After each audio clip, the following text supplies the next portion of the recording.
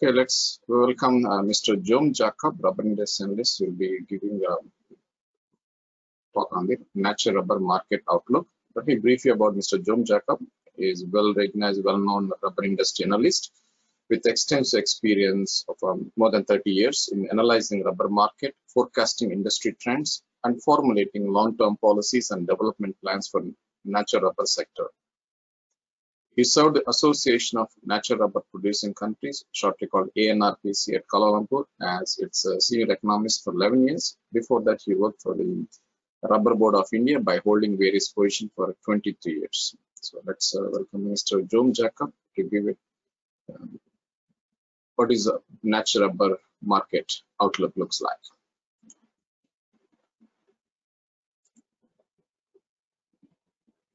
Hi everyone, welcome to this week's episode of the Natural Rubber Outlook. In fact, the title of this program was Natural Rubber Review, but we are giving more focus on the outlook because audience is interested to know what is going to happen in the coming week rather than what happened in the previous week. So we are giving more focus on the outlook rather than the review. But before going into the outlook for this week, uh, let us have a quick review of the performance of the natural rubber market uh, during the last week. We have uh, one, only one slide here, uh, which is showing the trends in the prices during the previous week. Uh, first of all, uh, we will review futures markets. We have three important Asian futures market for natural rubber. One is Shanghai, the other is SICOM TSR20, and the other is Osaka RSS3. Shanghai rubber futures, uh, the most active contracts, which is a contract expiring September, average during last week 0.6% higher, means less than 1% higher during last week compared to a week before. That means the market momentum was too low. But SICOM TSR20 uh, the August contracts averaged 2.6% higher during last week compared to a week before. Coming to Osaka, RSS3 is the most active contract and uh, expiring October, average only 0.01% higher. That means that there is not much uh, increase or decrease in price compared to week before, means the prices almost same compared to a week before. That means in the case of physical futures market, only in the case of SICOM TSR20, we have seen a major uptrend, 2.6% higher compared to a week before.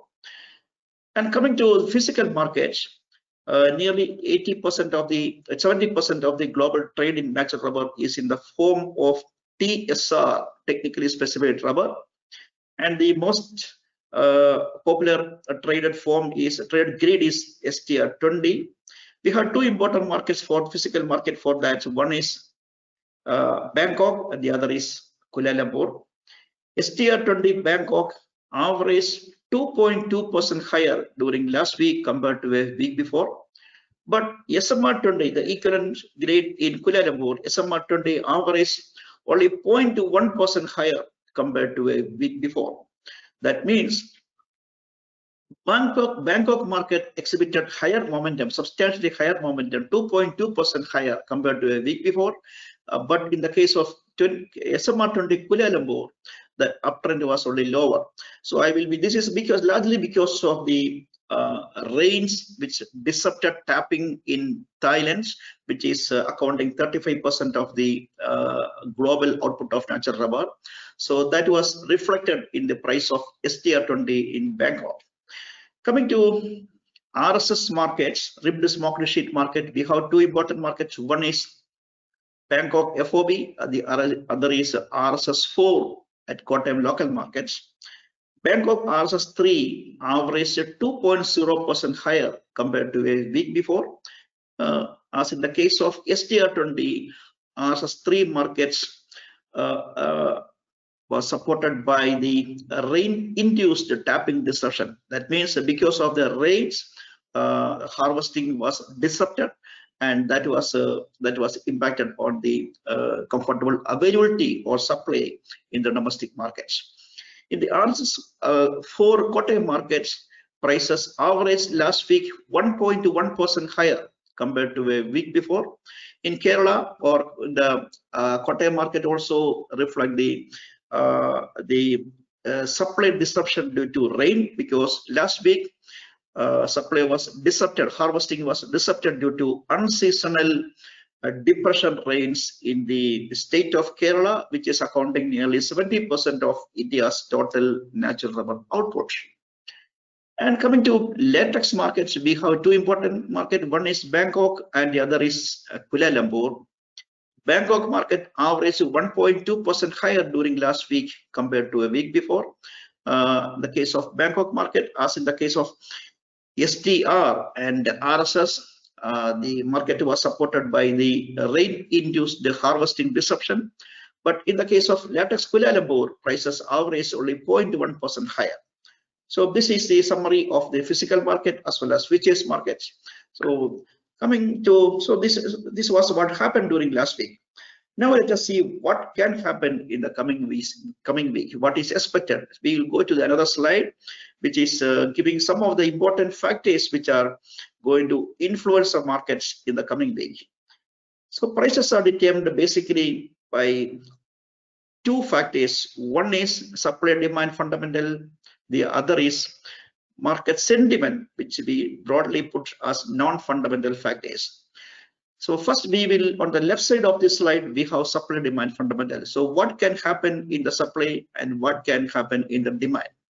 Supply, uh, the global supply of natural rubber, for the global supply of natural rubber, the period from June uh, until Jan coming January, it represents the period of flush season. Flush season, that means a period having high supply.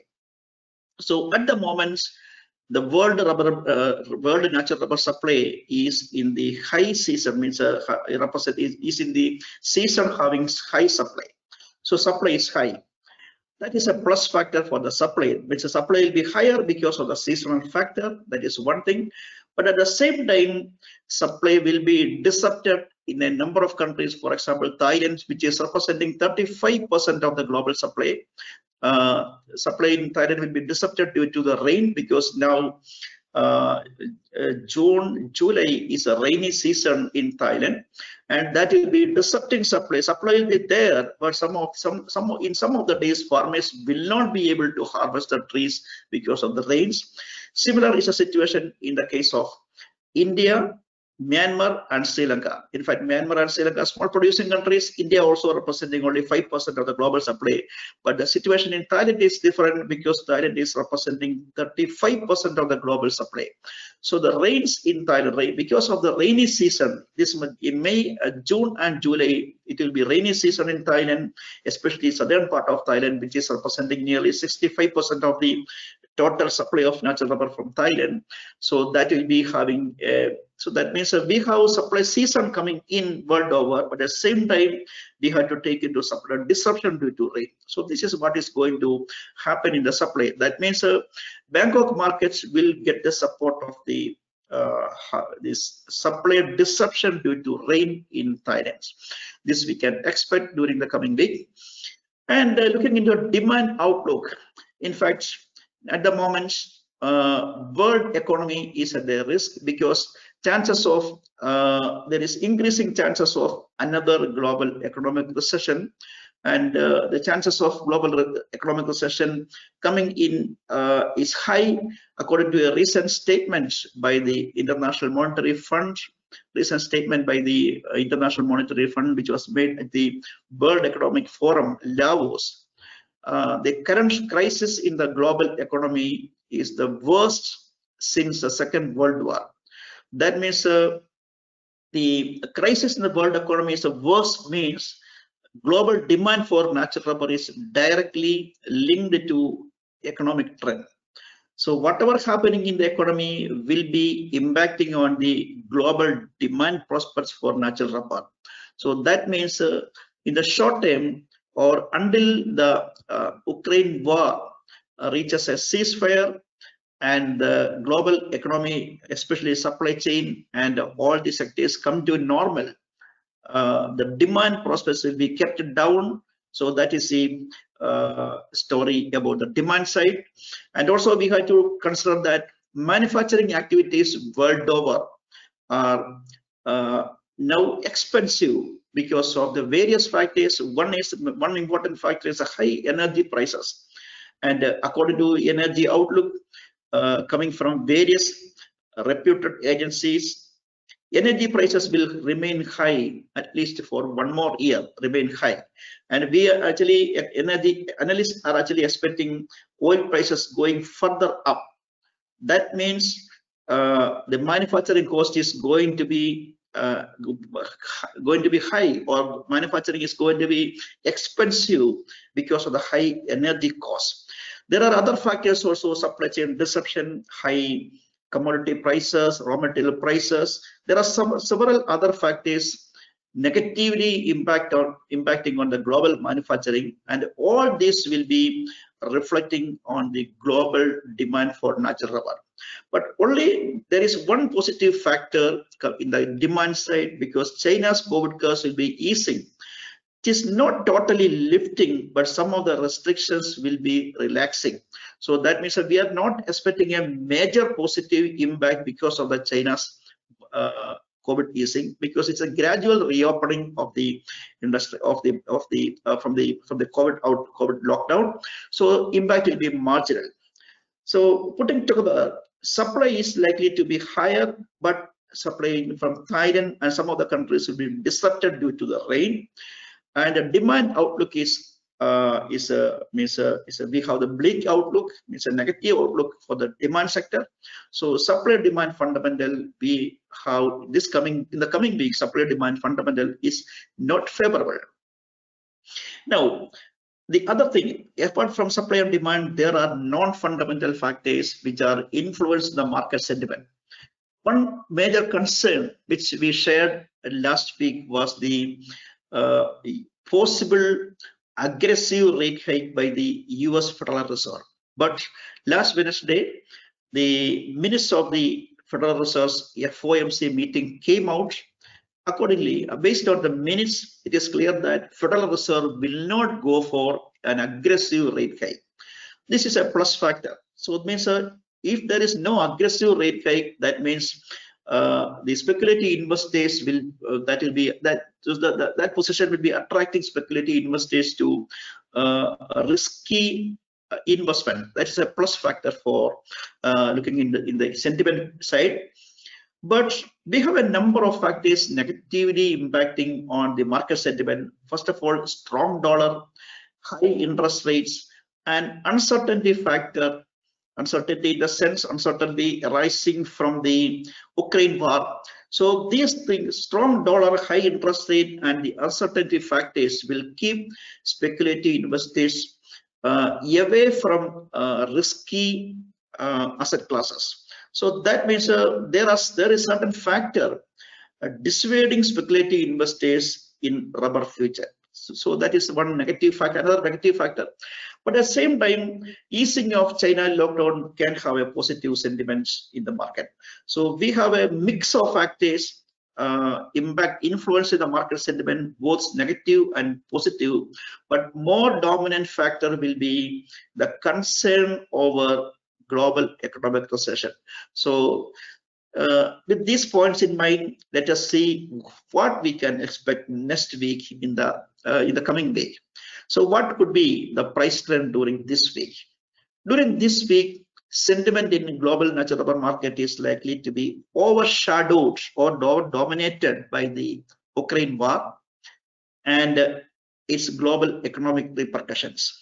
So that will be the more dominant factor. And according to, as I mentioned earlier, uh, the global economy is facing its worst crisis since World War Second, Second World War. So the disrupted weak uh, the demand prospects will prevent the market from making major recovery during this week. We are not anticipating a major recovery because of the dominant negative influence of the Ukraine war and its global economic repercussion. So it means the damage to the global economy is much wider, much deeper. Uh, so that means uh, it is coming out only. But prices can make marginal recovery in spite of the above negative factor prices can make marginal recovery not major marginal recovery in the coming week there are three factors supporting such a view one easing of covid curves in china that will be having a, a marginal positive impact on the prices especially in the shanghai markets and uh, rain-induced tapping harvesting disruption, especially in Thailand, which is representing 35% of the global supply. So that will be having giving some positive supply in the physical market, especially in Thailand. And uh, uh, Thailand is very important for the global global NR markets. And also high petroleum prices.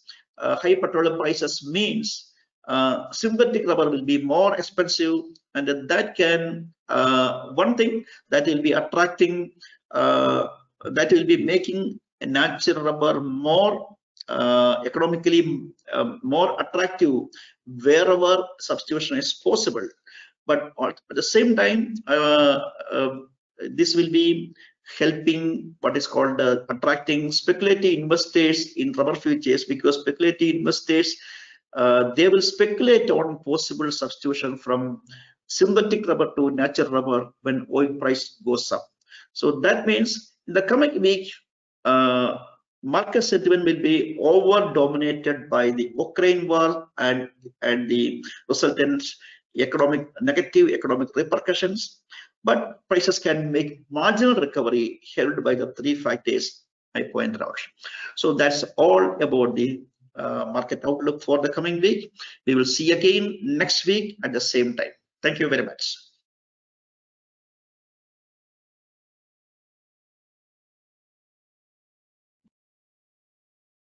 That's about the natural rubber market outlook. Um, I'd like to introduce you that you know Mr. Jom Jacob is offering a master class on natural rubber economics on the 15th June. Anybody interested, you can register for it.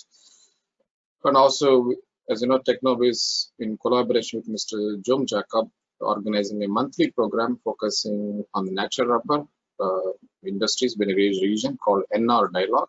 Our next episode on the 27th June, episode number six, which is will be part of the rubber industry news hour on Mondays. Okay, and uh, we'll have a natural rubber industry in Thailand. Our guest for the NR Dialogue on 27th is Mr. Supadej Ongsakul. He is a Deputy uh, Secretary General of Thai Rubber Association he is also executive secretary for the International Rubber Association. If anybody interested, uh, you can register. This is a, you know, this is a is going to be part of the rubber industry news hour on the, the 27th of June.